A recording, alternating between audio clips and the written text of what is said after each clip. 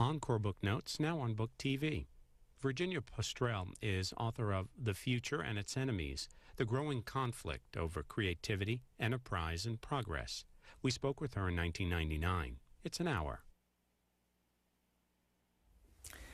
Virginia Postrel, author of The Future of Its Enemies, you say in the acknowledgement section that your husband came up with that title. That's right. The Future and Its Enemies, uh, which I think is a great title, uh, and a lot of people think is a great title, is an allusion to a famous book uh, called The Open Society and Its Enemies by Karl Popper.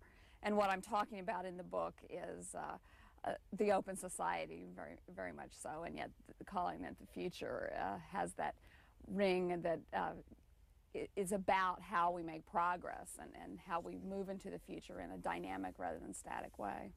All right, you say in also in the acknowledgments that I have spent countless hours discussing this book with my beloved partner in life and work with whom I spend countless hours. Who is your husband? My husband is Stephen Postrel. He's a PhD economist who teaches business strategy at UC Irvine down in Orange County. We live in Los Angeles. We met when we were 18 years old, freshmen at Princeton, and we've been, you know, we're just kind of soulmates and so, so intellectual this, and otherwise. Is this a wonk marriage? uh, we're we're not just wonks. We're interested in big ideas, uh, but uh, you know we we enjoy. We have a lot of fun too. It's not just uh, policy wonkery. Where did you get the idea for the book? Well, it goes back to a 1990 uh, piece I did for the Washington Post. I, I, didn't start working on the book till 95, but back in 1990, I was very interested, as a lot of people were, in the environmental movement. It was the 20th anniversary of Earth Day. And I took a sort of less wonky approach. I, I went back and read a lot of green theorists, people, uh, not people saying, you know, what should we do about air pollution, but people saying, you know, what is the right way for societies to be. And I was very struck by the idea of stasis in that in that writing. Uh, people like E.F. Schumacher, author of Small is Beautiful, probably being the best known person. Uh, but this idealization of society as a steady state, as the way that human beings ought to live, being in a world without change, and the idea of nature is also. Uh, static, uh, having sort of a balance or a climax phase. And I started to notice this idea of stasis cropping up in other areas, attitudes toward trade, for example, and started seeing little beginnings of left right crossovers. Uh, and, and got interested in that, and then got interested in the idea of, well, what is the opposite vision of that? And came up with this idea of dynamism. And I was seeing some left right crossovers there as well, uh, particularly on sort of open economy issues. I wrote this piece saying that you know, the political landscape is changing. This is bold thing, and I, I, predicted, in addition to talking about environmental stuff, I, I predicted that international trade and immigration, which at that time were kind of uh, issues that only interest groups and a few specialists worried about. I predicted that they would become hot button issues and issues that would divide and create new coalitions along this stasis versus dynamism uh, division. And in fact, that happened. And I continued to think and, and speak about these ideas. And then in 1995, I decided, you know, I should really develop them and, and talk about what it means to have a political landscape divided not between left and right, but between an open ended vision of the future versus some notion that it should be controlled or managed or perhaps kept stable in a past form.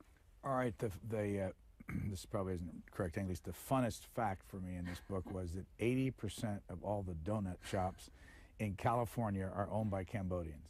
That's right. Uh, Where I, did you get that? I got it from an article in the Wall Street Journal, a very good piece uh, that was on the growth of the donut industry in, in uh, California, and I it is something you notice there. If you live there and you occasionally go into a donut shop, particularly if it's not the chain stores, they are mostly owned by Cambodian families. And uh, what happened apparently was there was a Cambodian refugee uh, sometime after the war who came to Southern California, as many Southeast Asians did, and he got a job in a donut fa- shop. And he started to think that this would be a really good business for him because you didn't need to know a lot of English. You basically needed to work hard, and, and it wasn't that much capital to get into the business. So he got into the business, and uh, he then other people started working for him and it spread through the ethnic community the knowledge about how to make donuts and they developed specialized suppliers and they kind of built this market. So it's not just that they sort of took over existing donut shops. They did that some they bought them out but they expanded the market for donuts. And this is an example of how uh, you know the economy grows in a very unexpected ways. I mean, because donuts are not a, a Cambodian food.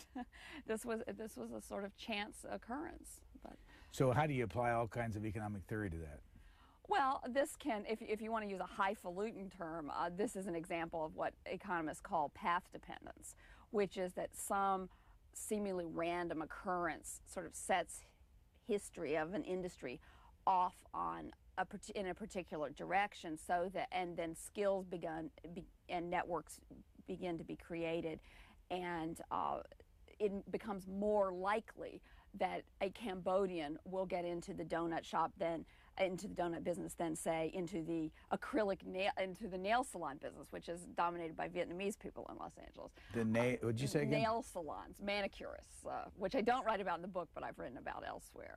Um, and then it's also more likely that uh, it's less likely that somebody who's not a Cambodian will get into it. It's not impossible. I mean, there are people who are not Cambodians who open donut shops, but it is an example of the sort of unpredictability of the way the economy works. And why do you use that? What, what's what reason do you use the Cambodian donut owners in this book? Well, I, I one reason is to explain about how history matters. Uh, that uh, we don't start off from scratch. We don't make progress from from starting over from scratch. That that's a false idea that we've had about history and about progress in the past.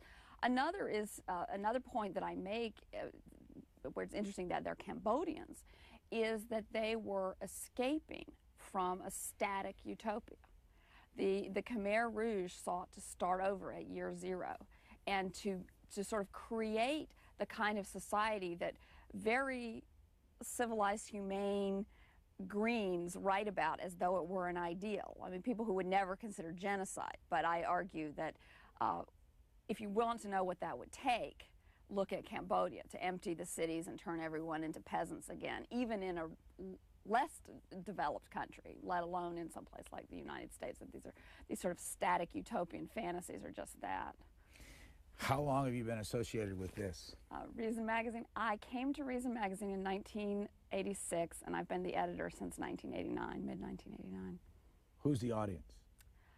Uh, it's anybody. The, the magazine's motto is free minds and free markets, and it is. Uh, so it has that sort of political orientation. It's a monthly uh, magazine of about politics, culture, and ideas.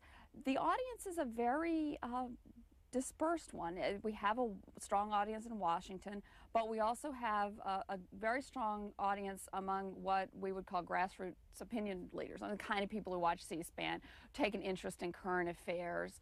Um, we have a particular uh, a strong segment of our audience, is not by any means all of it, of people who are in various kinds of technology uh, jobs and ventures what the exact association is between that and the ideas of the magazine is something that we always puzzle over. I mean, at this point, it's sort of like the Cambodian donut shops. Uh, because of that interest on our audience, we tend to write a little bit more about those issues which are increasingly important in the political debates.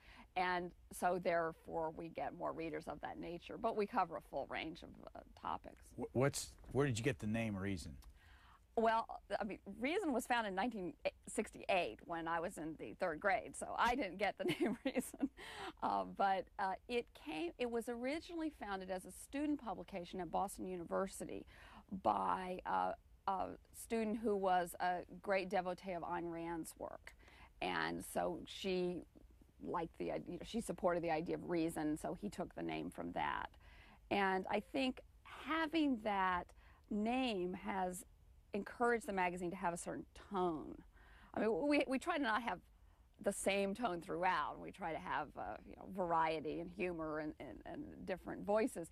But I think we address issues, we try to address issues in a sort of rational way, in a, in a way that appeals to people's intellects as, as well as to their passions. Where, where did you grow up? I grew up in Greenville, South Carolina. What did your parents do? Uh, my father uh, was uh, an engineer, who worked for a polyester film manufacturing company. My mother, when I was, most of my childhood when I was growing up, my mother was a full-time mother with a, a, vast range of volunteer activities. Uh, when I was in high school, she went back to uh, graduate school and got her master's in English and taught English at the college level for a number of years. And now she's primarily a poet and fiction writer. When did you get interested in first in things intellectual? You remember? I don't know. I mean, I guess it would depend on what you meant by things intellectual. I mean, were you a student in high school? Oh yes, I was always student? I was always a very good student, very serious about my study. I always loved to read, and I was always interested in politics. I mean, always. I, I, I, I remember the Kennedy assassination, even though I was almost four. Uh, I mean, obviously, my knowledge of John Kennedy was more that he had kids my age than you know what his policy was vis-a-vis -vis, uh, Cuba, but. Uh, but I was always interested in ideas and uh, in history and, and politics and literature. Did you start off being a, of a party?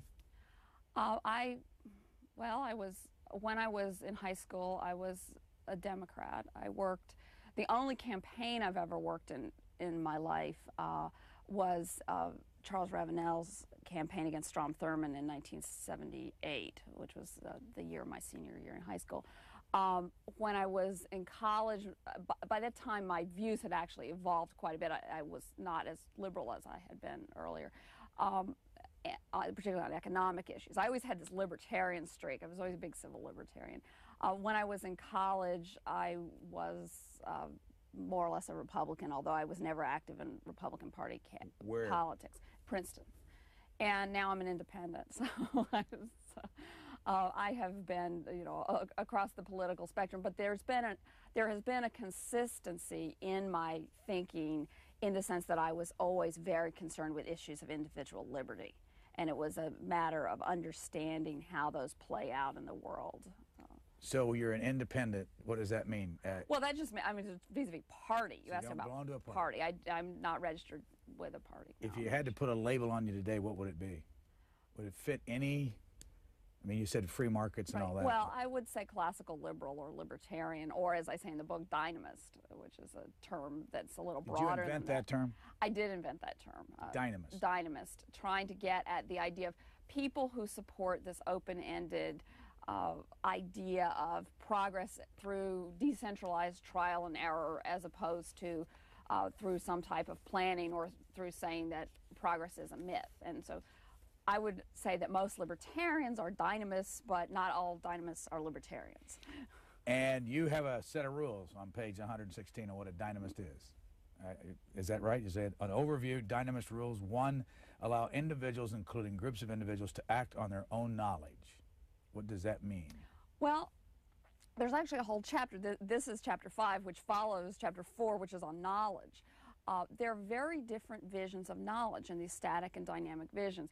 Um, the the static notion, I use the analogy of a tree. The static notion is like this, these palm trees we have out in Los Angeles. That knowledge is this big trunk that everybody kind of knows, and then there's a little bit of specificity at the top, a, a few little fronds.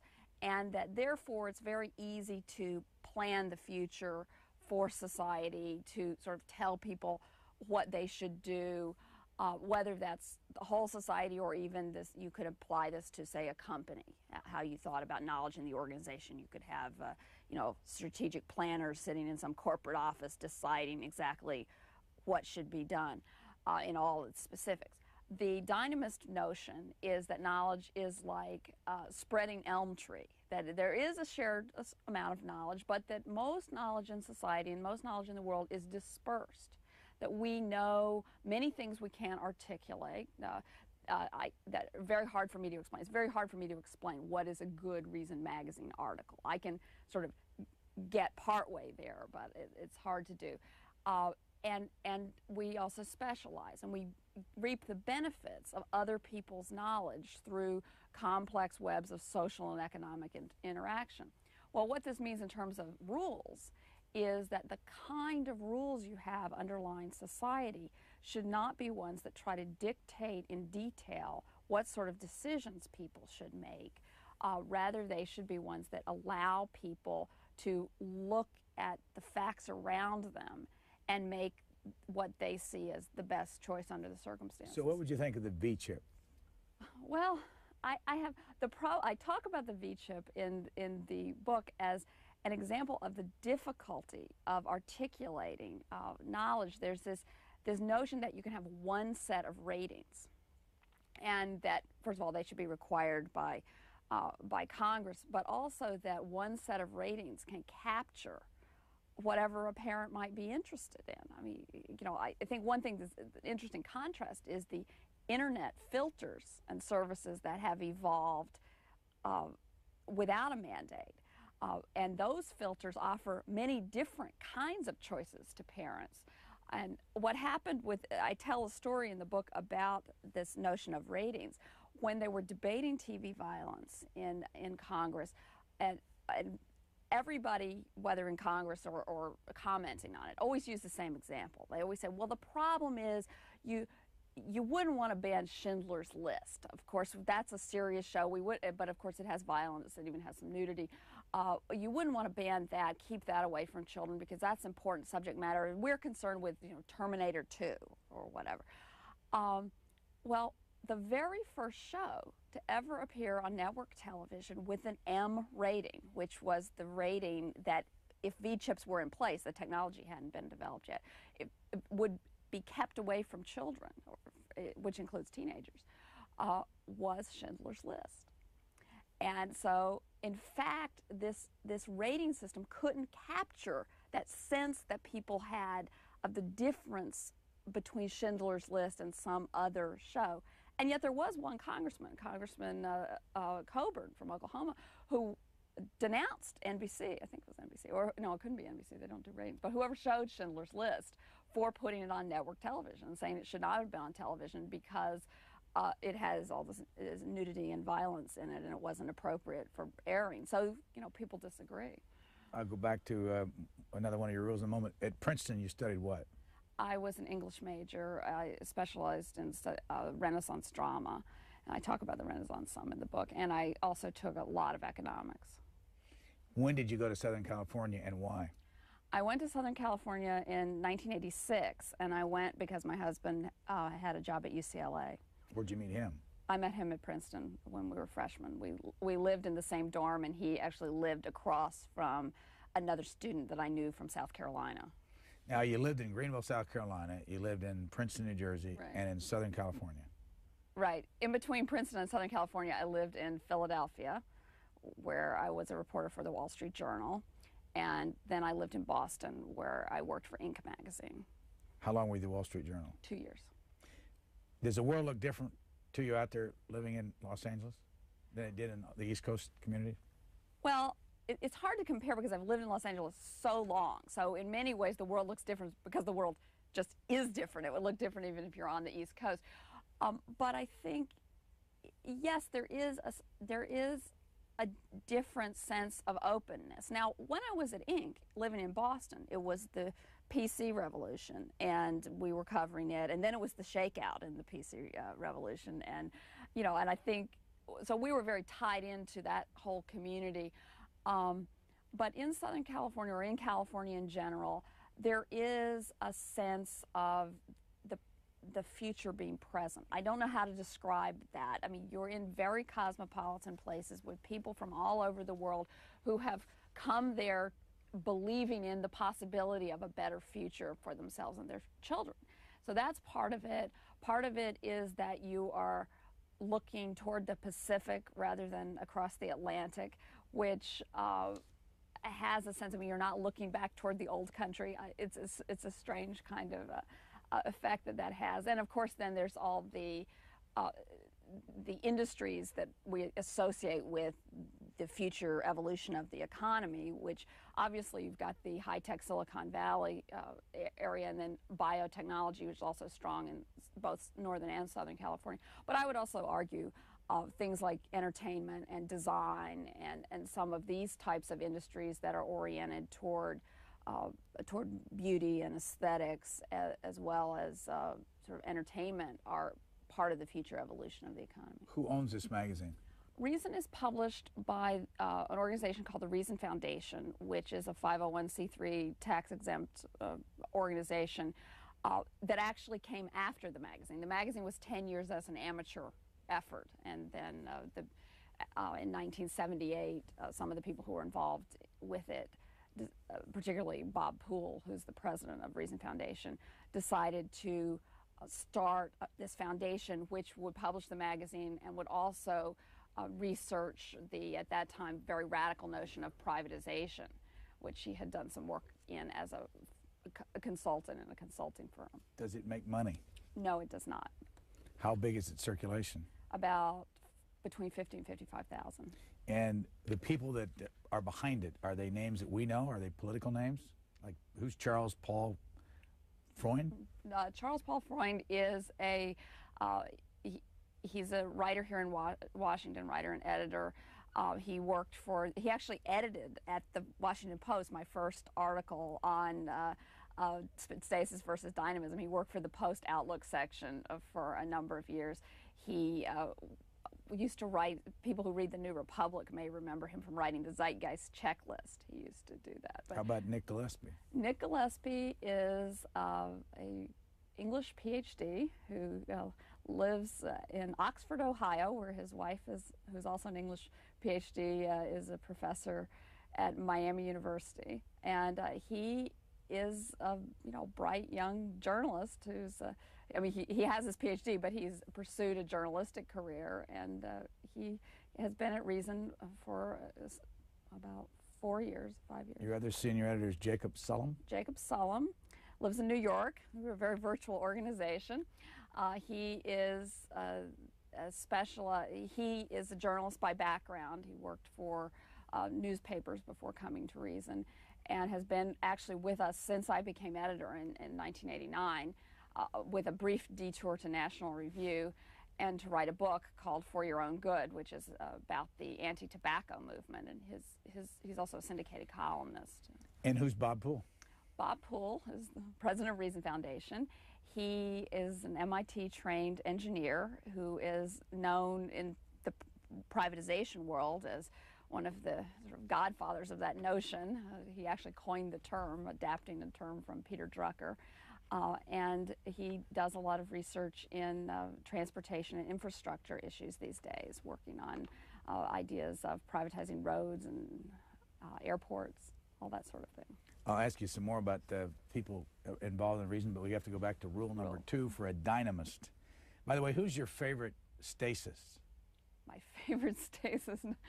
Uh, favorite Just give us an example of somebody that is a well-known stasist.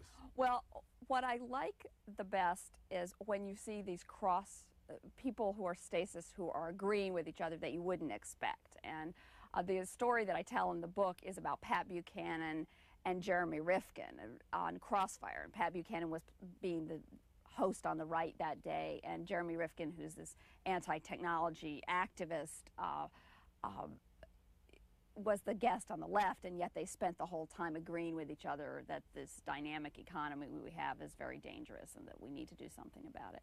So I, I enjoy finding those kinds of uh, political alliances. In, in, so I, I don't know that I have a favorite statist. Uh, there are some people who are good at articulating certain kinds of ideas, intellectual writers. What's Bill Clinton?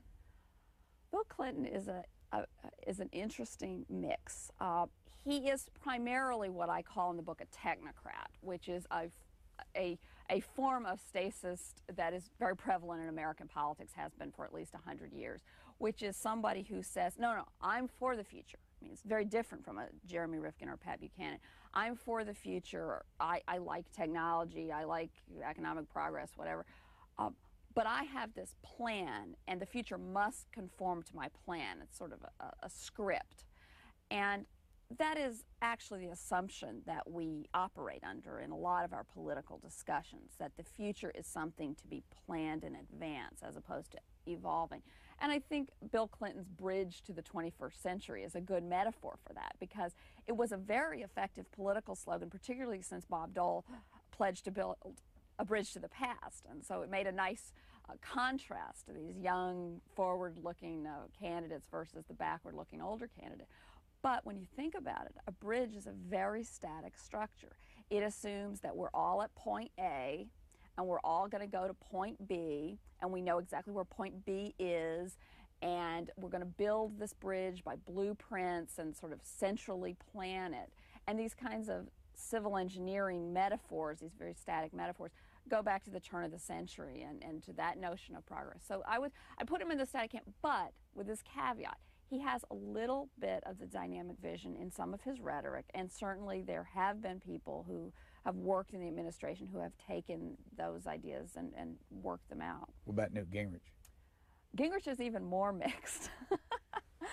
um, I, uh, Newt Gingrich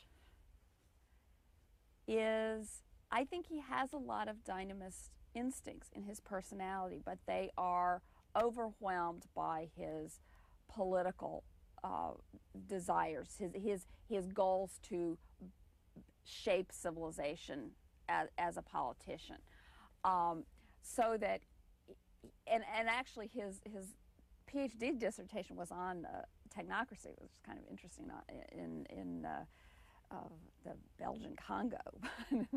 but um, he, but he, he understands more about dynamism than a lot of political figures. And the story I tell in the book about him, uh, where he's taking the dynamist side, I tell some others where he's more being more technocratic, is about beach volleyball.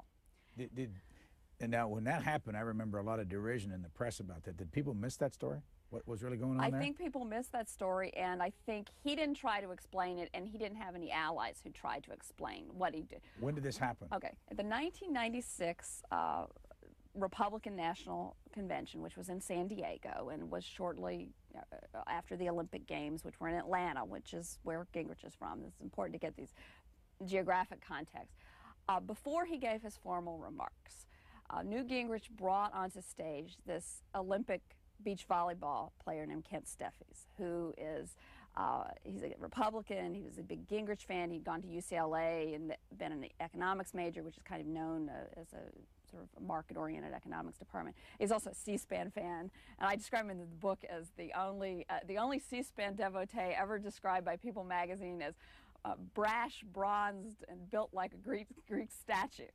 So Gingrich pulls him on the stage, and he he makes this sort of not terribly articulate uh, encomium to beach volleyball, and he says you know, 30 years ago, nobody would have envisioned, nobody played beach volleyball, and now people all around the world play it, and it's in the Olympic Games, and, uh, and, and no bureaucrat would have planned it, and that's what freedom is all about.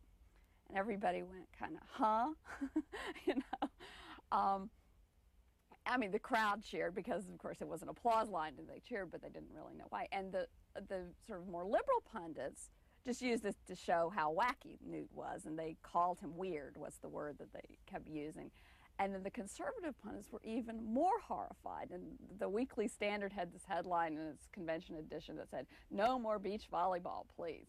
And what I argue is that actually this was a dynamist moment, that he, what he said was correct, that this was an example of how things rise. And this is a reasonably good sized industry, beach volleyball actually. They rise from unexpected places. And, and no bureaucrat would plan them because who would think of it? No one would design a beach volleyball uh, uh, industry. Um, and, and that he was right, but, but it didn't fit in with the political rhetoric. And then I also point out that this vision of play as a positive good and as some kind of uh, some tied to the progress of the market economy and tied to creativity is something that is, is not accepted in intellectual circles and particularly in conservative circles. And that he was getting in trouble from that too. And I have a chapter on play. Rule number two apply to simple generic units and allow them to combine in many different ways. Yes. Combinations are a real theme in where progress comes from. Uh, you know, when you combine things, you can get uh, an enormous number of outcomes. And uh, the way I derived these rules was I looked at all different kinds of uh, dynamic learning systems. And those could be market economies, they could be the scientific process, but they were also things like uh, there are certain kinds of computer programming techniques that people use where they essentially have the little programs simulate evolution and, and they get good outcomes. And you know what do those have in common? What do adaptable buildings have in common? People writing about all different kinds of evolutionary learning systems what do they have in common? And i was struck over and over again by one of the things is that when you make rules they're very generic and they don't restrict the kinds of combinations that people can make whereas when we make different kinds of laws and regulations we often uh, make very static categories so you can say, you know, there are homes and there are offices, and home and office never meet. And this is written into many zoning and building codes uh, and, and, permitting codes. Uh, so what I'm arguing is that you need to have these, you need to allow many different combinations because people will combine things in un, unfamiliar and surprising ways. Rule number three permit credible, understandable, enduring, and enforceable commitments. Commitments. Well, rule number two actually gives you the law of contracts. I mean, the idea that you should be able to uh, make different kinds of agreements. And when I talk about rule number two, I emphasize uh, the ability to find like minded people. Or Rule number three is the other side of contract, which is commitment. It's not just about combinations, it's about keeping your commitments and that one of the things you see, for example, in the former Soviet Union and in other uh, places, sort of less developed economies, is a difficulty in making durable, enforceable commitments. Uh, you don't know whether you can trust people, and this limits the, the number of commitments people are likely to make. So, in order to have a good market economy, you need to be able to make deals with strangers. Uh, and what you find in places where people can't trust each other because the legal system doesn't work is that they will only make deals with family members or people that they've known for a long time. And that works to a point, uh, but it doesn't work to give you uh, an extended order, a, a, really advanced economy. By the way, who do you want to read this? Everybody. I, I, think people who have an interest in, as it says in the subtitle, creativity, enterprise, and progress, if you have any sort of interest, those words mean something important to you. You ought to take a look at it. And if you have an interest in the uh, some of the peculiarities and changing shapes of our political uh, uh, order, you, you, might you might want to pick it up. And I think also that there are many people who are interested in business and entrepreneurship and technological innovation who uh, would find it very interesting and useful. How did you get Tom Peters to say it's the best damn nonfiction I've read in years? Well, I, I sent him a copy of, of the, uh, the manuscript, and I, I had done an interview with him uh, for a reason, and I actually quote some, I, I quote some parts of it in the book, uh, some of the things he said about various things. And so I had met him, and I knew that his thinking that he would like the ideas in this book. So I sent it to him, and actually, the full quote was even longer, and it said things like, "My hands literally shook as I read every page." And, you know, it was, it was a liberating experience, but. Uh, but the publisher wanted to keep it, you know, short and to the point, so they used this sort of movie blurb. Rule four of five of the dynamist rules that you've. Uh, this is all your your stuff. You've invented all this. Well, I, I, didn't invent it from whole cloth. I read a lot of other things, but no, I synthesized. I mean, this is yes, all. These yes. words are your words. Right. Here. That's right. How long did it take, by the way, to think all this through? Well, writing the book took about two and a half years, and the rules chapter probably took the longest. It's the longest chapter, and it was, in, in many ways, the most difficult to write. Two and a half years of how much work? How much work? That's hard to say. During part of that, my husband was visiting, uh, he was a visiting professor at the Kellogg School at Northwestern University. So he was in Evanston, Illinois, and I was in Southern California. And what I would do is I would go for a week a month to see him and work on the book. And that's, so that would be, you know, roughly a quarter of my time. But that wasn't for the full two and a half years. It was less at the beginning uh, because there's a lot of wheel spinning when you, especially when you've never written a book before. You don't know how to do it. and uh, so it, I was working on it somewhat less at the beginning and then more as time went on. I would say probably it was about a fourth of my time. And how much would you just talk about your, like these, these five rules that you've got here? Who did you bounce all those off of? A lot of people? Um, well, the actual rules, um, when I was writing them, I, it was mainly talking to my husband. Um, although, after I would write a chapter, then I would send it to, I had a few people, including we talked about Nick Gillespie, my colleague. Uh, I had a few friends that I would send the chapters to each chapter and say, you know, please give me comment. Lynn Scarlett, who's the uh, head of the Reason Public Policy Institute, which is the other half of the Reason Foundation, uh, read a lot of it along the way. And, and so I got this kind of immediate feedback, and then I would revise the chapters uh, later on. And then eventually my editor at the Free Press, Paul Golob, read everything and gave me some good advice. Is there a place we can go in Southern California that says Reason on the door? Uh, yes, uh, there is. We have an office on Sepulveda Boulevard in uh, Los Angeles, uh, and right by the freeway. If you want a traffic report, you can give me a call. And uh, there is a, but we are very, as I mentioned, we do have people all over the country and, and do a lot. We've used the new technologies. Here's an interesting example of combination. We've used these new technologies of the internet uh, primarily, but uh, to allow people to make accommodations to their personal lives and keep people on staff if they're spouse has a job or needs to go to school in a faraway city. And, and uh, How many people do you find there at the Reason offices? And is the Public Policy Institute right there? The Public Policy Institute is also there, although they also have some dispersal. Uh, they have one person here in Washington, D.C., for example, but uh, most of their dispersed people are in the Southern California area and just living far out and coming in maybe once or twice a week. Uh, but, well, there how many people are actually in our offices? I guess would be maybe 20, but there are about 35 people working. Now that's uh, there must be about 25 people. Rule number four: protect criticism, competition, and feedback. Yes, when I talk about progress coming through trial and error, experimentation, and feedback, the feedback is a big part of that. And one thing that people sometimes don't get about my book is they think, oh, Virginia is for change. She's just for change. Every change is good. And that's not at all what I'm saying. I am saying let people try things. That's the competition part. Let them enter, let them uh, try their new ideas, but let other people criticize them. And I, I talk about two forms of criticism. One is uh, criticism by expression, which is criticism. It's, you know, well, this movie is lousy, or uh, this this is a terrible product. Uh, you know, Consumer Reports tested it and found that it falls apart. Uh, the other is criticism by example, which is competition, which is saying I can do better than those those th whoever is existing, and I'm going to try. So you need to protect both of those in order to have the learning process that makes progress possible. Anybody associated with this organization politically involved with the Republicans or the Democrats? Um, directly, I, I guess it depends on what you mean by associated with.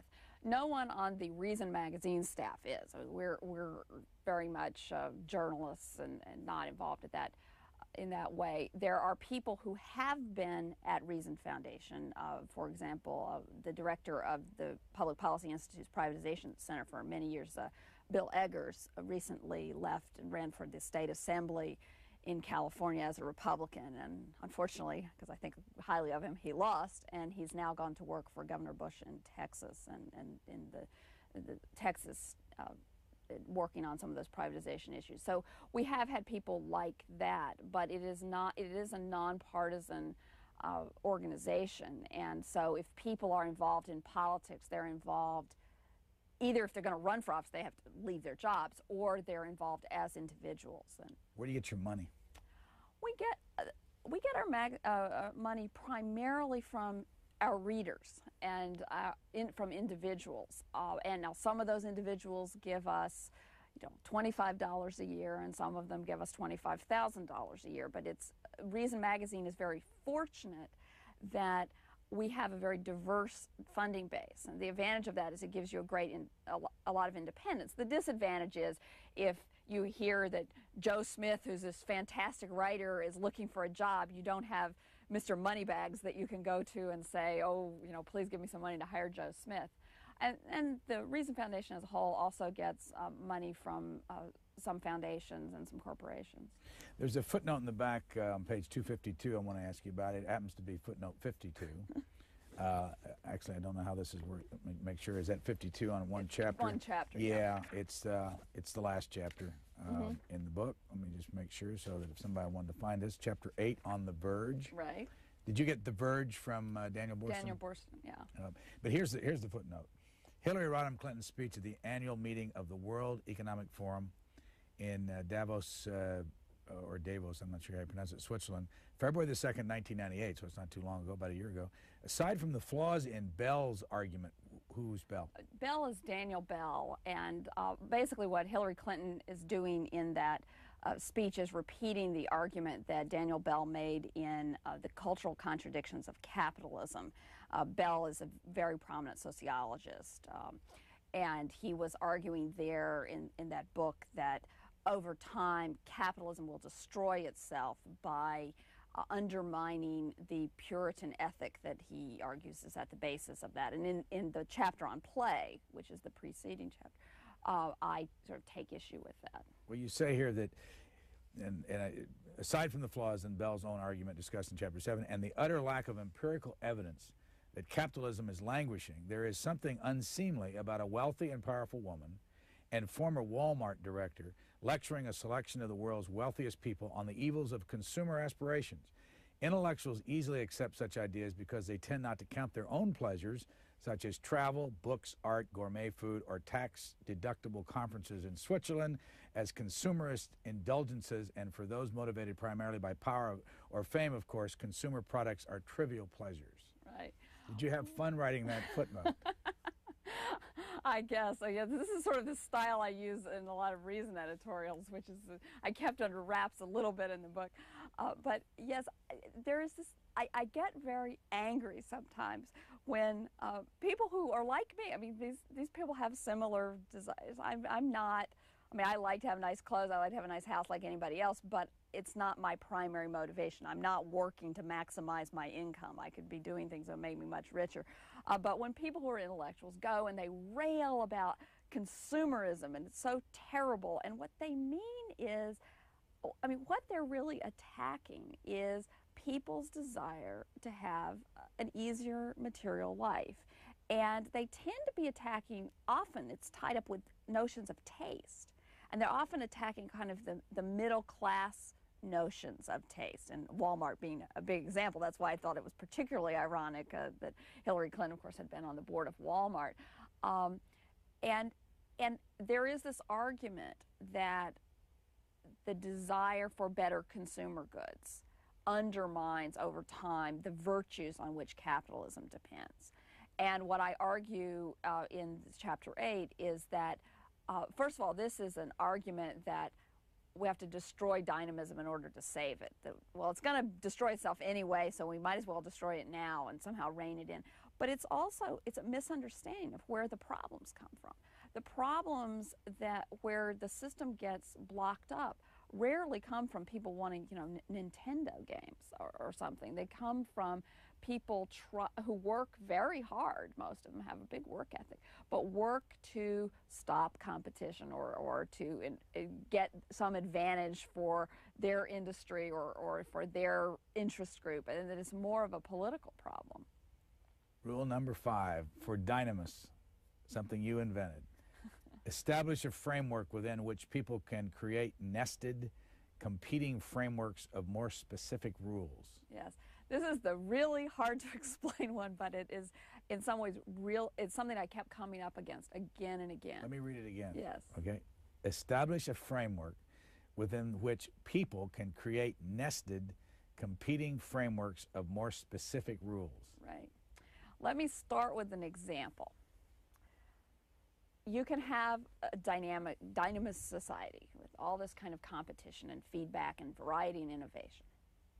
But within that society, let's say you want to run a company that is very consistent. You want to run, you have a McDonald's, you want to have McDonald's french fries be the same everywhere.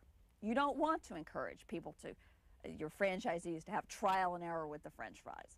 And so you have, within the broader dynamic system where people are trying new things, you have these more specific, rigid rules that are designed to meet some more specific goals and that incorporate your local knowledge, getting back to the rule number one, of what those goals should be.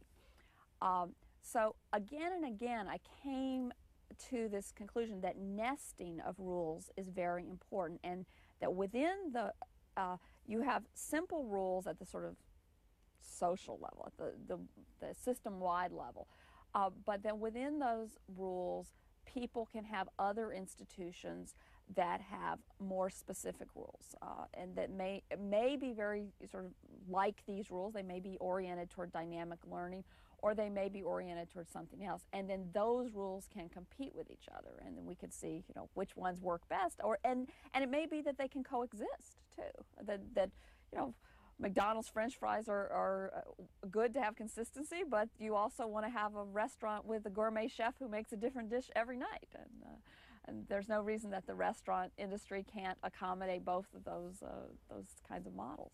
Okay, here's the list of Reason Foundation trustees. Okay.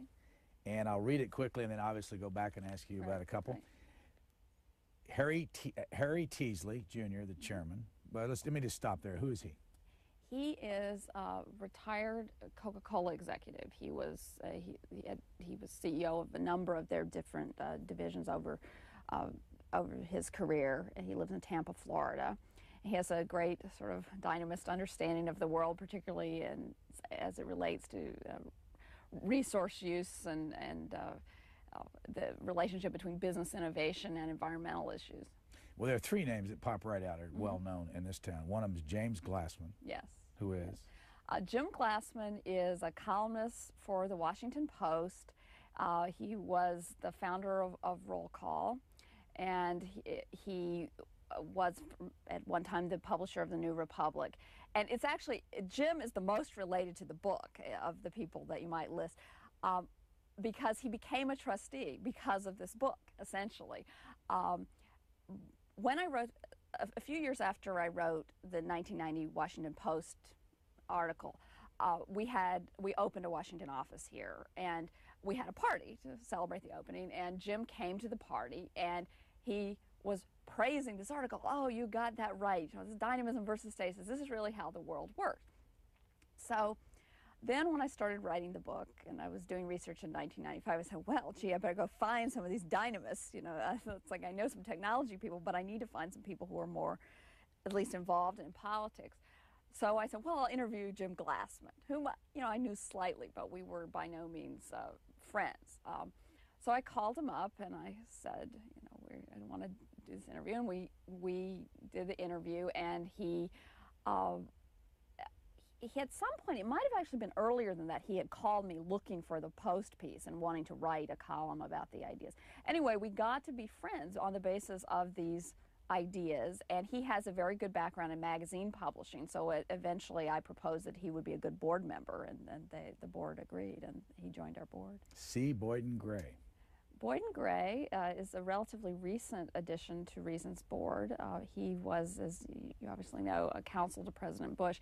His brother, Burton Gray, was one of the, it may have been one of the founding board members of Reason, was a, a, a, a board member for many years and died very young, uh, very tragically, uh, had a heart attack. And so the, the Gray family has been uh, involved with the Reason Foundation uh, over uh, many years. And we actually have our Reason Magazine's summer internship is endowed in memory of, of Burton Gray. And uh, so Boyden has taken an interest in us. in Walter. E. Williams.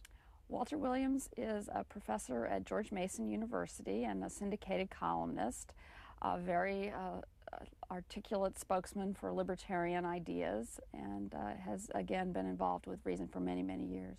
Now, Thomas Beach and William Dunn and uh, Neil Goldman, Steinahans, is that? Stina Hans. Got that one wrong. Manuel or Manuel? Well, he actually goes by Manny Klausner. Yeah. Klausner, David Cook or Koch? Koch. David uh, Koch. Missed that one too. uh, James Lintott, uh, Robert Poole, Al St. Clair, Joel Stern. Any of those folks that uh, you can explain to us and how they get there? I mean, wh what what's the central reason why somebody comes to the Reason Foundation? Well, I think they are excited about the ideas that we believe in, and they are. Uh, sometimes they've been involved with us on uh, some particular policy issue. Uh, often they uh, many of the people whose names you read are people who are essentially magazine readers and are enthusiastic about the magazine and uh, then came to know about the Public Policy Institute through that uh, and and you know they believe in what we believe in and at some point they you know want to get more involved. One of the names most mentioned in your book is Friedrich von Hayek. Yes. Who was he? Uh, Friedrich Hayek uh, was, I say, is the most important philosopher of dynamism. He was a, an Austrian-born uh, economist and social philosopher uh, who ventured even into issues of cognitive psychology and other real, um, really a renaissance man of ideas, who was a great uh, defender and articulate uh, well, not just a defender, but an explorer of what it means to have a market economy and a, and a free society. And many of the ideas in the book about knowledge come from him because he was one of the first people to articulate the notion that what a market does is act as a telecommunication system for dispersed knowledge. He actually used that analogy. Uh, and he, he was a Nobel laureate. He died in, I believe, 92 or 93. This would be his, the 100th year of his birth. You have a quote in your book, Why I Am Not a Conservative, and I want to read it. As has often been acknowledged by conservative writers, one of the fundamental traits of the conservative attitude is a fear of change, a timid distrust of new uh, of the new as such, while the liberal position is based on courage and confidence and on a preparedness to let change run its course even if we cannot predict what it will lead. Conservatives are inclined to use the powers of government to prevent change or to limit its rate to whatever appeals to the more timid mind. In looking forward, they lack, the, they lack the faith in the spontaneous forces of adjustment, which makes the liberal accept changes without apprehension, even though he does not know how the nece necessary ad adaptations will be brought about. Uh, could he write that today? Well, he could write it in the context in which he wrote it. Uh, as I mentioned, he was Austrian born. He, uh, after the Nazis came to power, he went to England and he was at the London School of Economics for many years and eventually he came to the United States and was at the University of Chicago. But he had very much of a European uh, perspective and the it, his use of the word liberal is in the classical sense. It is not in the American sense. Um, and so, in that sense, I think it is true. And one of the, he struggled in that essay with what to call himself. And he came up with the not very catchy uh, identification of old Whig. but he, because he didn't like libertarian because that was too clunky and uh, too much of a neologism. And liberal had this problem of uh, having been confused with sort of various kinds of planning or redistribution notions. Um, but what I would argue is this sense of open-endedness is very much what I'm getting at with the notion of dynamism, that, that a society and individuals can venture into the unknown future and make adjustments and be much more resilient than they're often given credit for. Would a, a dynamist then have Road to Serfdom on their the Hayek book? Uh, they might. I mean, the one that I particularly uh, use in this book is uh, The Constitution of Liberty, and also, which is, uh, but Road to Serfdom uh, was his best selling book. Based on what you said very early, would they have all of Ayn Rand's books up there on the shelf? Uh, not necessarily. Some, I, I think um, many people who are very devoted to Rand's works have been very, and they have responded very well to this book uh, because many people like Rand uh, are drawn to Rand because of her celebration of the creative spirit, and particularly in her fiction, and her uh, way of showing how restrictions on uh, market enterprise are just as restrictive of the creative spirit as restrictions on artistic enterprise. Uh, that said, um, Rand's thought is uh, her, the other side of her thought, her, the, her, uh, her rationalistic philosophy can take different forms uh, vis-a-vis these ideas. Depending on your personality, you may take it and say, oh, well, I love this open-ended notion, but it might also be restrictive. Uh. Is there any candidate that you know running for president of the United States as we speak who um, you would find that would be most the most interested in a book like this, based on what you know? The most interested? I, I don't know. I think that um, there, there are very few people in elected office who would thoroughly be comfortable with the dynamic vision because our politics is this very technocratic politics. People get elected by saying, uh, you know, I will I will make the future look like this. And I actually quote in the book uh, someone from Capitol Hill saying a year after the Republicans came in office that what had gone wrong was that they're good conservatives, so they want to shrink the size of government, but they think of that as getting as close to the abyss as possible without falling off and that's very contrary to the dynamic vision, which is, you know, that thing you call the abyss, that's called life. that's called society. That's called the rest of us outside of Washington. So it's very hard for somebody to survive in that environment. I think there are elements of dynamist thought in, in any number of candidates, and there are people around people. I mean, I, I'm very hard on Al Gore in this book because I think he is uh, a combination in many respects of the technocratic planning impulse with this sort of reactionary stasis uh, notion. Um, but there are certainly people who have worked for Al Gore and who have been around Al Gore who uh, are very dynamists. I, I, quote a guy in there who was a speechwriter for him, Dan Pink, who writes about the free agent economy uh, now, uh, who is you know, very much thoroughly in keeping with these. And similarly, you know, on the Republican side, people have said to me, well, John Kasich would he would like these ideas. And sometimes I hear him and I think, yeah, he would. And then other times I hear him, I'm not so sure. Or George W. Bush would like these ideas, or Steve Forbes would like these ideas. a couple quick personal questions. By the way, how long have you and your husband been married? For 12 years. Have you have, do you have children? No. And are you ever going to get into politics? No. I think, I think we can pretty safely say that. What did you think of this process of writing your first book? It was the most difficult thing I've done and the most fun thing I've done. Going to do another one? Uh, undoubtedly, I'm not sure what it'll be on. I have several ideas. Here's the book. It's called The Future and Its Enemies by Virginia Postrel, who is also the editor of Reason magazine. Thank you very much. Thank you. Virginia Postrel was editor of Reason magazine from 1989 to 2000 and founded Reason Online, the magazine's website. She writes the column Economic Scene for the New York Times business section. Free Press is an imprint of Simon & Schuster. More information at simonsays.com. Next week, Encore Book Notes features Frank McCourt on Angela's Ashes. For information about any authors and books featured on Encore Book Notes, visit us online at